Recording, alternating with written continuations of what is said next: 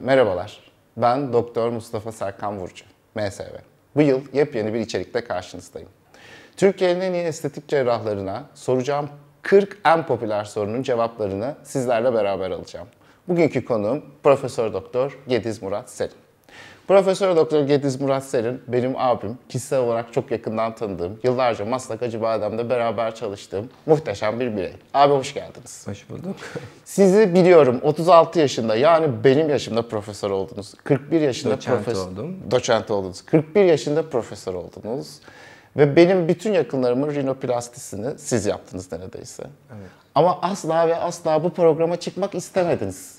Sosyal medyaya olan ilişkiniz çok sınırlı. evet, Sebebi yani nedir? Sosyal medyaya biraz böyle uzak bir insanım. Senin bu projende ilk cerrah olmayı kabul ettim. Bir şekilde ikna ettin beni. İki ay boyunca Nişantaşı'ndaki işte kliniğinize gidip geldim abi. Ya ameliyattaydınız, ya hasta görüyordunuz, ya hastanedeydiniz. tamam işte bugün cumartesi boş bulduk. devam ediyoruz. Abi bir Sorulara takım- devam edeceğiz. Bir takım istatistiklerden bahsedeceğim size. Türkiye'de değil, bütün dünyayı göz önüne aldığımızda 821.890 rinoplasti yapılmış. Bu rinoplastiye baktığımızda Trabzon nüfusundan bile daha fazla. Ve bunun 61.495'i Türkiye'de yapılmış. Dünya ortalamasına başvurduğumuzda bu %7,5 gibi bir rakam oluyor. Türkiye'ye gelen tüm sağlık turizmi hastalarının %60'ının da İstanbul'da olduğunu düşünürsek, neredeyse dünyadaki her rinoplasti hastasının ikisi İstanbul'da yapılıyor. Sizce bunun nedeni nedir? Yani bir kere rinoplasti çok popüler bir ameliyat oldu. Son zamanlarda e, uygulanan teknikler ve e, işte tıbbın diğer alanlarının gelişmesiyle de daha e, insanların daha kolay karar vereceği bir ameliyat haline geldi. Türkiye'nin avantajı şu, Türkiye'de çok iyi cerrahlar var. Ve bu rinoplastide e, yol gösterici cerrah bunlar. Yani çokça insan var. O yüzden Türkiye bu konuda gayet iyi. Ee, çok fazla toplantı var, çok fazla eğitim var, çok fazla kurs var. O yüzden e, Türkiye'deki genel cerrahi ortalaması çok yüksek. Yani bu yanlış bir algı değil mi? Türkiye'de sağlık turizmi sadece ucuzluktan dolayı yapılıyor algısı bence çok yanlış. Yok tartışması. Yani Türkiye e, işte e, dünyadaki konumu itibariyle maalesef ucuz bir ülke e, bu konularda ama yani bu şeyi değiştirmiyor. Yani Türkiye'deki cerrahların e, başarısını e, değiştiren bir faktör değil. Yani Türkiye'deki cerrahlar e, çok iyi cerrah. Yani hasta buraya geldiğinde çok iyi hizmet alabiliyor. Ama Türkiye'nin e, e, bulunduğu konum sebebiyle Türkiye'nin fiyatları dünya ekonomisine göre geride. Peki- Bu da tabii ki tercihi biraz arttırıyor ama Peki tek sizce, sebep bu değil. Peki sizce Türkiye'deki cerrahların iyi olmasının sebebi ne? İşte daha demin söylediğim gibi yani bir kere biz burada e, yani nüfusumuz fazla, çok fazla ameliyat yapabiliyoruz. E, eğitim kurumları çok iyi. Yani bu burada eğitime çok fazla değer veriliyor. E, ikincisi çok fazla pratik yapma şansımız oluyor. Bir de son yıllarda çok fazla kurslar var. Çok fazla e, toplantılar var. Bilgiyi saklamayan bir sürü cerrah var ve bu, bu da herkesin gelişmesine sebep oluyor. Bu sadece Türkiye için de değil yani bütün dünyadan buraya akım var. Hani gelen bir sürü insan eğitim almaya da geliyor. Peki abi müthiş rakamlardan bahsediliyor. Sizin de kariyerinizi düşününce ortalama bugüne kadar sizce kaç rinoplasti yapmışsınız? Çok yani o- onu Ne say- kadar çok? say- 100 bin, 200 bin, Yok 300 o bin. kadar değil yani de bayağı çok sayıda yaptık. Ya bir yani. Tunceli'nin ilinden daha fazla yapmış olabilir misiniz? Yok o kadar değil yani sonuçta bir insanın yapabileceği bir sayı var ama bu e, hatı sayılır çoklukta e, ameliyat yaptım yani şeyde e, rinoplasti olarak. Peki abi sizin revizyon oranlarınız nedir? Şu anda revizyon oranları bütün dünyada biraz tabii ameliyat sayısı arttıkça revizyon oranı da artıyor. Yani o yüzden revizyon ameliyat sayımız bizim de kendi içimizde arttı.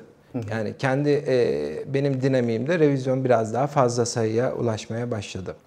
Abi birçok cerrah abim, arkadaşım ameliyathaneye girdiklerinde kendilerini kaybediyor. Gerçekten ulaşılamıyor ve sürekli kafalarını dinlemek için, hayattan kopmak için ameliyathaneye girip ameliyat yapıyorlar. Cerrahi onlar için bir yaşam şekli. Sizin için cerrahi ne ifade ediyor? Yani ameliyathane çok güzel bir ortam bizim için. Neden güzel abi? E, hiçbir mantığı yok. Yani saatlerce ayakta durduğunuz, kafanıza soğuk e, klimanın estiği, e, insanla uğraştığınız bir ortam. E, ve hiçbir mantığı yok aslında iyi olması için ama Sonuçta bir cerrah için güzel bir ortam, iyi bir ortam. Biz de iyi hissediyoruz. Biz de orada mutlu hissediyoruz tabii. Hemen hemen her cerrah gibi. Vallahi ben hiç anlamıyorum abi. Ben acil tıpçıyım. Benim için inanılmaz kapalı, ve böyle insanlarla interaction'ın çok az olduğu, soğuk ve boğuk bir ortam. Ya tabii ama bu, bütün hayatını ameliyathanede geçirmek benim için de çok e, kabul edilebilir bir şey değil. Tabii bu yaşla doğru orantılı. Yani bir cerrah olmaya başladığın işte 23-25 yaşından işte 40 e, 45 gibi yaşlara çok fazla hayatının bir dönemini bu ameliyathanede geçirebilirsin ama sonuçta bir de başka bir hayat da var. E, biraz onu da dengelemek gerekiyor. Yani ameliyathaneden de ne kadar zevkli olsa da uzaklaşmak gerekebilir. Şimdi abi ben PES veya FIFA oynadığım zaman e, gece gözümü kapattığımda futbol oynayan insanlar görüyorum. Siz de eve gittiğinizde örneğin mesela iki tane bebişiniz var biliyorum. Elinizde farkında olmadan onların oyun hamurlarıyla burun yapıyor ya da gözünüzü kapattığınızda hala cerrahi prosedüre devam ediyor oluyor musunuz? Kızım olsa şey derdi, yok artık diye. yok yani o oyun hamurlarıyla e, burun yapmıyorum yani o öyle şeyim yok, tarzım yok zaten. E, ama tabii ki gece e, yastığa kafamızı koyduğumuzda o ameliyatı düşünüyoruz. Yani bir gün önceki, iki gün önceki, bir haftaki önceki ameliyatlar hep kafamızda e, şekilleniyor. Peki abi kozmetik ve solunum sistemi fonksiyonu olarak burun nedir? Burun yüzümüzün ortasındaki bir organ. Temel olarak iki tane görevi var. Bir tanesi solunum, yani solunum yolunun başı, hı hı. girişi. E, ikincisi de e, koku almadaki e, görevi. Yani bu temel iki görevi bu. Küçük başka ayrıntıları da var ama o çok önemli değil. Şimdi. Kozmetik olarak ideal burunun tanımı var mı abi? Ameliyat olmuş hastalarda mı? Ameliyat olmuş olmamış hastalarda. Ameliyat olmamış hastalarda kozmetik olarak ideal burun yok bence. Çünkü Ameliyat... çünkü e, yani mesela e, çok güzel bir e, kadın veya çok yakışıklı bir erkek olur. Burnunda hafif bir kemer olur. Bu onun yüzünü bozmaz. Yani bu hani kozmetik olarak ideal demek değildir. E, bazen böyle e, nispeten e, ideal ölçülerde olmayan bir burun da insanın yüzüne yakışabilir. Hı hı. Ama ameliyat olmuş insanlarda e, ideal burun diye tanımlamalar var. E, bu tanımlamalar işte en basiti şöyle, alından burun sırtına geçişte güzel bir açısının olması, burun sırtından burun ucuna geçişte güzel bir açısının olması, burun ucunun yeterli erkekte veya kadında kalkıklıkta olması ve simetrik, olabildiğince simetrik hale gelmesi. Burası böyle, burası böyle. Neyse tamam. Bazı insanlar niye burnu kemerli, bazılarınki kemer değil abi? Bu tamamen genetik mi? Ee, genetik travma, çocukluktan geçirdiği travmalarla burnun şekillerinin değişmesi olabilir. Başka hiçbir sebebi yok. Burun daha güzel koku alıyor, daha iyi nefes alıyor yok, falan. öyle bir şey. Büyük burun eşittir güzel koku, yok, güzel soluk. Çok küçük burunlu Asyalılar var. Onlar da güzel koku alıyordur. Peki abi hem solunumsal olarak hem kozmetik olarak her iki sebebi olarak her iki sebebi de göz önüne aldığımız zaman kimler sizin için ideal rinoplasti adayıdır? Bu konu çok subjektif. Yani e, kitapta da makalelerde de bunun hani kim burun ameliyatı olmalıdırın böyle alt alta dizebilirsiniz. Bu böyle bir sürü e, seçenek olabilir. Benim için başka bir şey. E, benim için bir nefes problemi olan hasta e, burun ameliyatı, hani sadece rinoplasti değil, burun ameliyatı için uygun bir adaydır. Ama bu nefes probleminin dışında e, görsel problemleri olan insanda tabii ki burun ameliyatı için uygun adaydı. Yani temel iki sebep bu.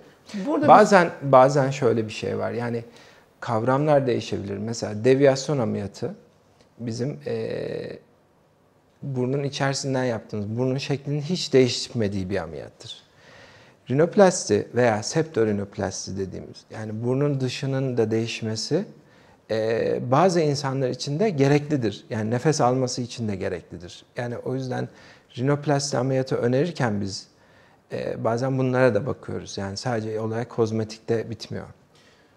Burada bir soru soracağım affınıza sığınarak. Rinoplasti cerrahisini hem kulak burun boğaz hekimleri Türkiye'de yapıyor hem plastik cerrahi hekimleri yapıyor. Bunların arasındaki fark nedir abi? Herhangi bir fark var mıdır? Şimdi vücutta bazı organlar ortak alanlardır. Hı hı. Yani mesela bir el cerrahisini iki farklı bölüm yapabilir. Bu burunda böyle bir şeydi. Yani bunu çok sahiplenmeye veya bir bölüme e, ait diye nitelendirmeye gerek yok. Çok basitçe içini ve dışını düzgün yapan herkes bu ameliyatı yapabilir. Yani bu plastik cerrahi veya KBB diye bence ayrılmasına gerek yok. Peki abi. İkisinde yani burnu çok güzel yapan, e, çok iyi burun cerrahı olan iki e, branşta da cerrahlar var, arkadaşlarım var. Şu yanlış ama estetikçi içini yapamaz. Hayır öyle bir şey yok. Onu yapan çok estetikçi de var. Kulak burun bazı dışını bu da yok. Yani çok güzel dışını yapan kulak burun bazı. Bu ortak bir alan aslında. İki cerrah da yapabilir, iki bölümde yapabilir. Peki abi. Şimdiye kadar çok efendi gittim. Artık biraz kendime dönebilirim. Gediz abi, Gediz hocam size geldim. Dedim ki ben size rinoplasti olmak istiyorum. Step by step yaşayacağım serüveni anlatır mısınız bana? Pre cerrahi öncesi ne sorular soruluyor, ne testler yapılıyor, muayenede nelere dikkat ediliyor, anamnezimde dikkat edilmesi gereken yerler neler anlatır mısınız bize? Yani benim karşıma geldiğinde ilk soracağım soru şu. Nefes almanda problem var mı? Sağ burnum azalıyor, sol daha iyi alıyor. Tamam. İkinci aşama e, çeşitli burunla ilgili veya burnun etrafı ile ilgili yan hastalıklarınız var mı? Yani mesela bu ne olabilir? Alerjiniz var mı? Yok. Yan sinüs hastalığınız var mı gibi veya bunlarla ilgili şikayetleriniz oldu mu gibi soruları soruyorum. Daha sonra da klasik bir soru. Estetik beklentin var mı? Var. Bunu burası soruyorum. böyle olsun, burası böyle olsun. E, tabii hemen direkt ona geçmiyoruz. Yani biz ilk etapta alıyoruz, bir muayene yapıyoruz. İçerisine dışarısına güzelce bakıyoruz. Fotoğraflarla e, çekiyoruz, analiz yapıyoruz. E, burun içerisine baktığımız zaman tabii tek başına baktığımız şey burnun içerisindeki septum. Yani burun orta bölmesi değil. E, burun içerisindeki o burun etlerine konka dediğimiz halkın burun eti dediği yapılara bakıyoruz. Onları değerlendiriyoruz. Ee, özellikle kameralı muayenelerde sinüslerin girişine bakıyoruz. Ee, ek olarak bir sinüs problemi var mı veya alerjik problemler var mı diye değerlendiriyoruz.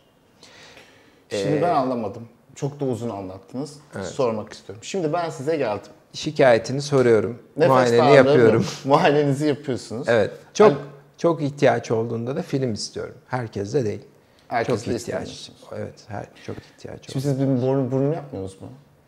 Konuşuyoruz canım. Daha daha şu anda o aşamaya geçmedik. Ha. Sonra mı aşamaya geçeceğiz? Şimdi sonra tekrar şimdi masaya dönüyoruz yani ne yapacağız bir bakacağız. Peki abi rinoplasti için uygun yaş nedir? Şimdi şöyle bu bence oraya atladık.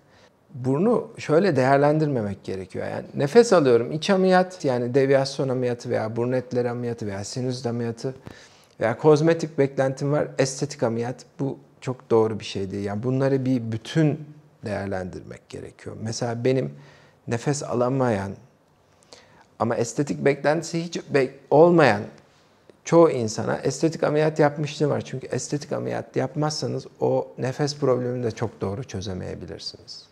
O zaman burunla ilgili olarak cerrahi açısından değerlendirdiğimizde fonksiyonel ve kozmetik aslında birbirinin içerisine girmiş. Kesinlikle. Kesinlikle. Yani ameliyat öncesi fonksiyonel problemi çözmek de bizim için birinci seçenek olmalı. Abi o zaman rinoplastide fonksiyonel ve kozmetik olarak bir bütün halinde değerlendirilmesi gereken bir durumdan bahsediyorsunuz. Ameliyat öncesi planda e, bir nefes problemi de düzeltmek ön planda olmalı. Yani kozmetik problemi düzeltirken. E, yine ameliyat sonrası kozmetik problemi düzeltirken var olan nefes problemini de ortadan kaldırmamak önemli bir hedef haline geliyor. Çünkü böyle çok e, şikayet eden insan var ya ameliyat olduktan sonra nefes alamayan. Bunu da yine göz ardı etmemek lazım. Bu fonksiyonu da korumak gerekiyor. Yani buradan çıkacak esas mesaj burnun fonksiyonel ve kozmetiğinin bir bütün olduğu ve hep beraber değerlendirilmesi gerektiği. Kesinlikle. Anladım ben onu. Uygun yaş nedir abi rinoplasti için? Rinoplasti için e, klasik olarak tanımlanmış yaş başlangıç yaşı 18'dir. Ama rinoplasti için başlangıç yaşları biraz erkene çekildi. Bunlar kadınlarda 15, erkeklerde 16 gibi Çok düşünebiliriz. erken değil mi abi? Çok erken değil. Yani yüz gelişiminin tamamlanması o yaşlarda neredeyse oluyor. Yani o yaşlarda burun anatomisini bozmak ileride yüz gelişimini çok bozmuyor. Çok merak ettiğim bir şey var. Mesela 11-12 yaşında basketbol oynarken çocuklar burnunu kırıyor. Evet. Biz acilde çok da çağırdık sizi hatırlıyorsanız. Evet. Siz diyorsunuz ki eğer çok ciddi bir e, deformasyonu falan filan yoksa 18 yaşına kadar devam etsin. Çocukluk çağında ya da ergenlik çağında geçirilmiş travmalarda bir bekleme sınırı var mı abi? Yani bu, bu buradan bir program çıkar. Ee, nasıl söyleyeyim? Şimdi mesela bir tane 11 yaşındaki çocuğu şey yapın, ele alın.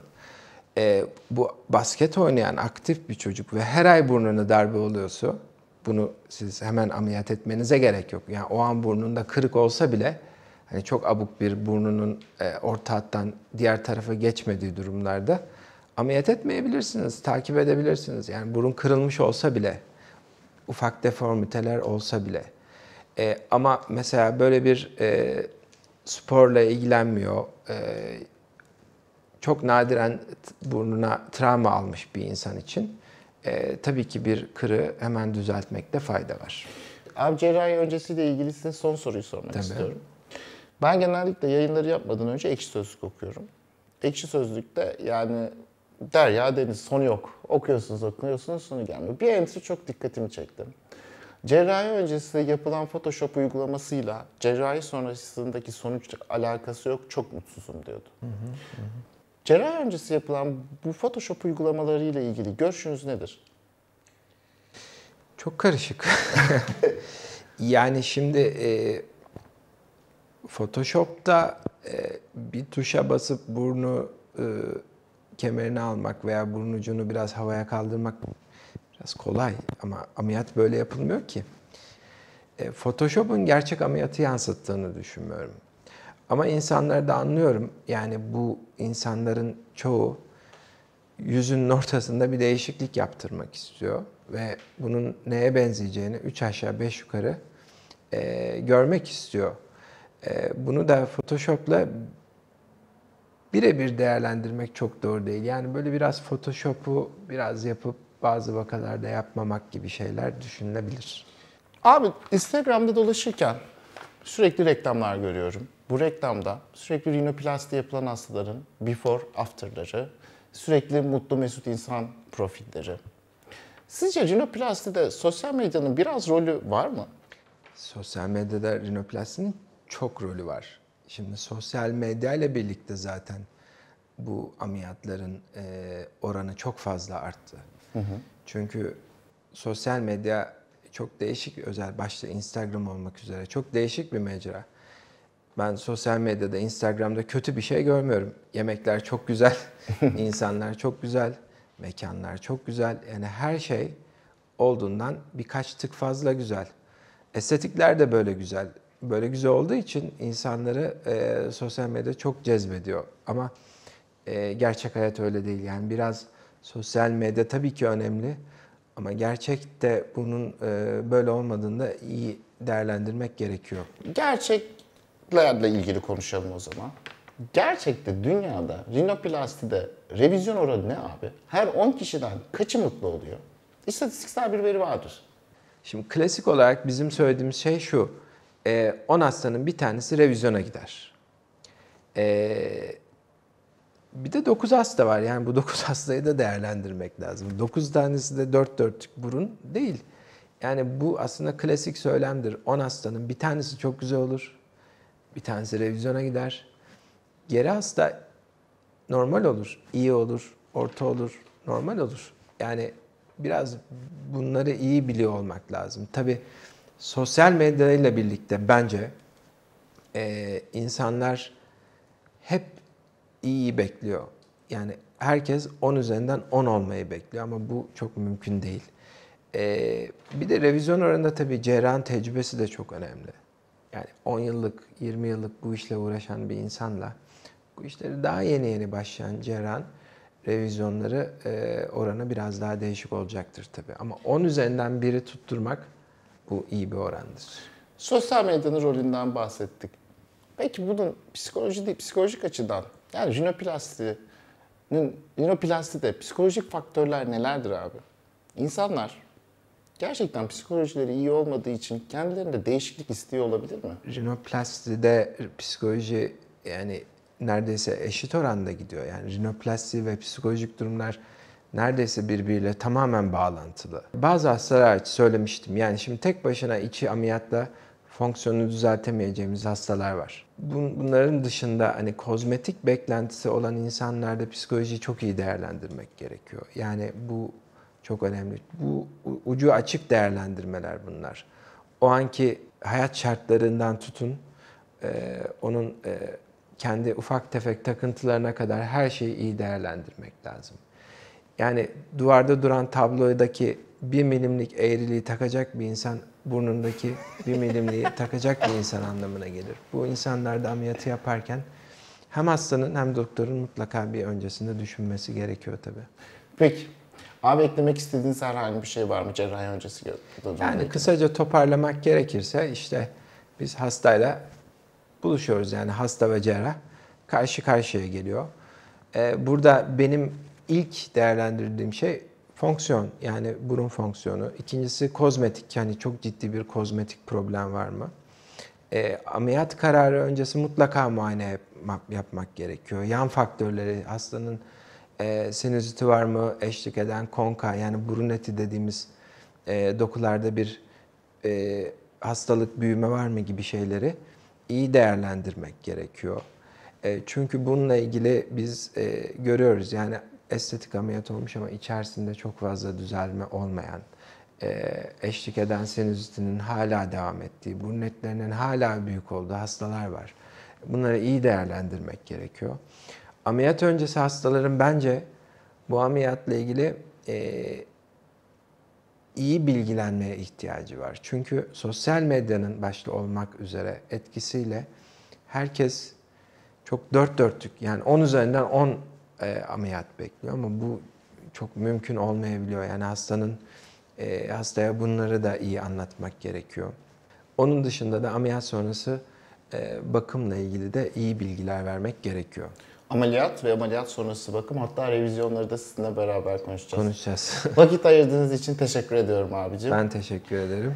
En sık sorulan 40 sorunun ilk bölümü burun cerrahisinde cerrahi öncesi merak edilen soruların cevaplarını Profesör Doktor Gediz Murat Serin'den aldık. Bir sonraki bölüm cerrahi prosedürler. Görüşmek üzere, hoşçakalın.